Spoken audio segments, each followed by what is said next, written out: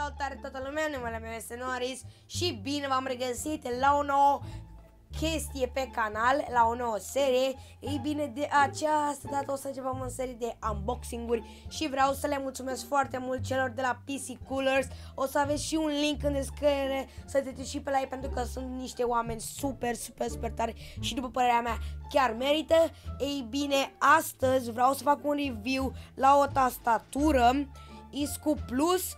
Ei bine, această tastatură este de la Rocket și o să aveți un link scriere de la această tastatură și de la cine am primit-o. Dacă vreți să fac un review la o anumită tastatură, la anumite căști, la un anumit mouse, puteți să-mi lăsați, iar eu o să încerc să vorbesc cu ei să îmi facă rost de acel produs. Ei bine, haideți să începem acum.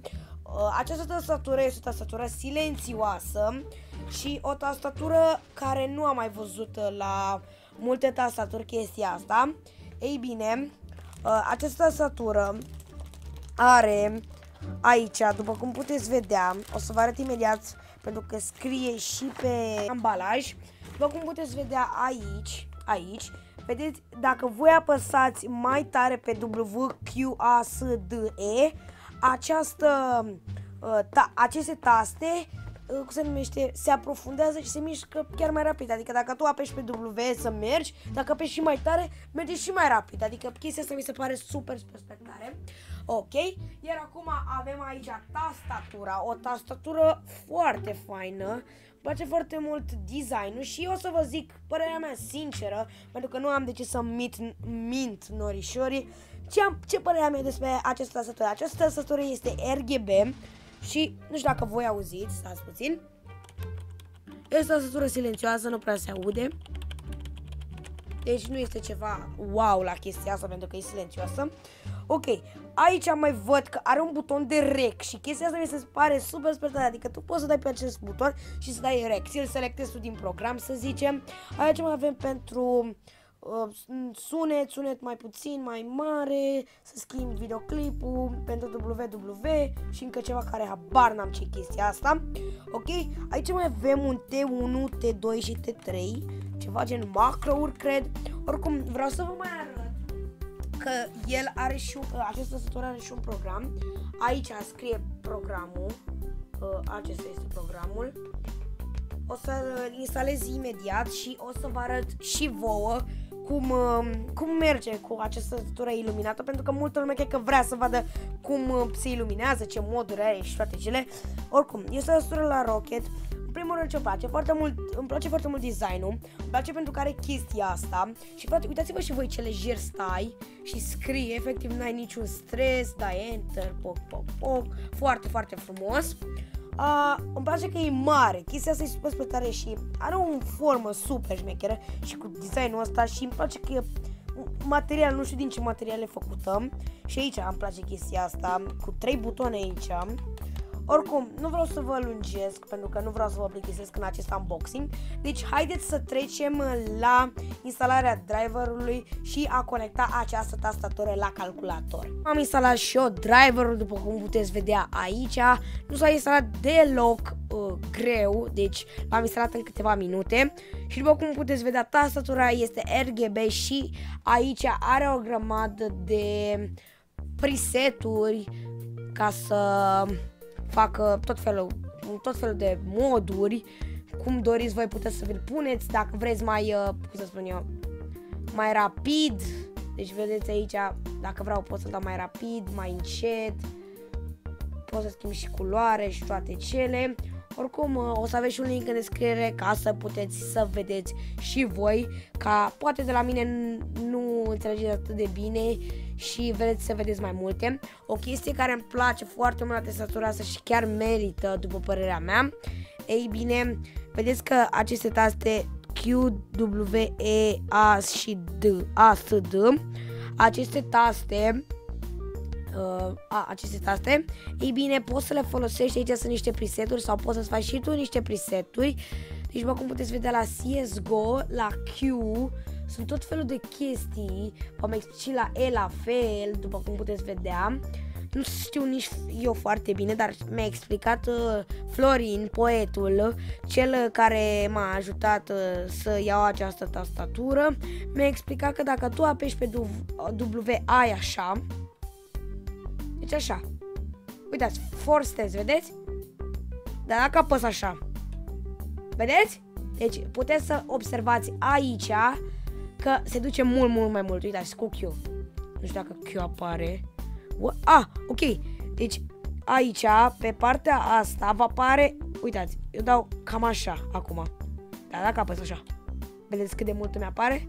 Deci e în funcție de cât de tare apeși și de cât de tare ți a apăsat. Uitați, și la E. Observați? Vedeți și ce tare. Sau la A. Uitați. A, S, T. Deci super, super tare chestia asta. Chiar sunt super încântat și la Watch Dogs 2, dar puteți să vă faceți și voi preseturile voastre. Dați la Custom for Sensitive Settings. Haideți aici. O, ce mai avem? Force Case Toggle. Ia uite frate.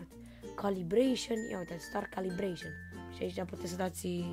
Aici puteți să vă faceți și un profil. Uitați, mie mi-e destul de greu să mă obișnuiesc cu asta acum. Uite, scriem profilul nou rișorilor. Asta e profilul. Ok.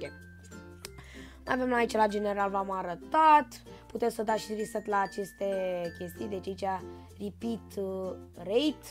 Văd aici. Ok.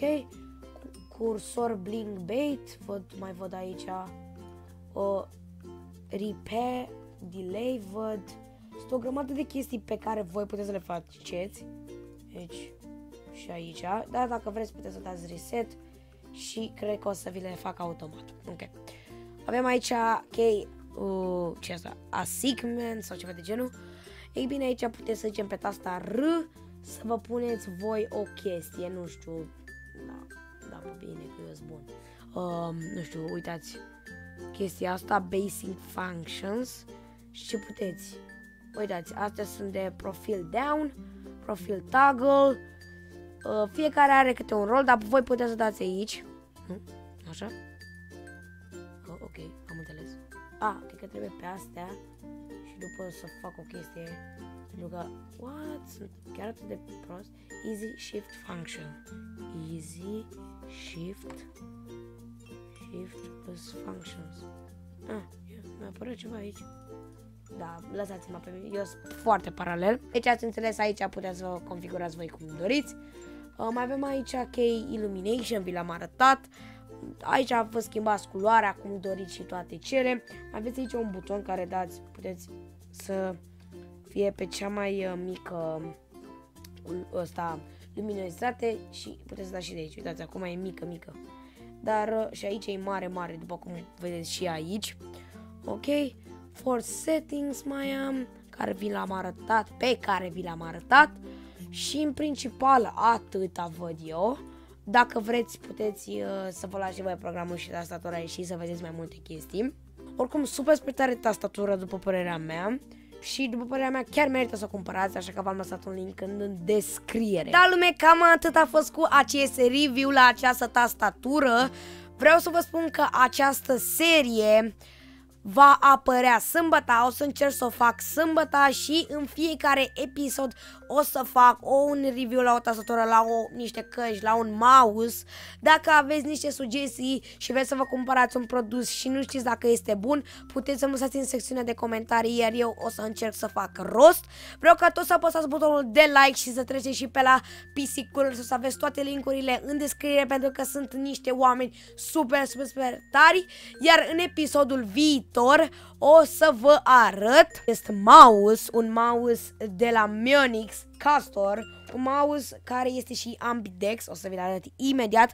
Dacă vreți mai multe detalii despre el, ne vedem săptămâna viitoare, tot sâmbăta. Și apăsați butonul de like la acest videoclip, treceți pe la PC Coolers. Eu am fost Noris alături de tastatura Rocket și ne vedem data viitoare. Bye bye!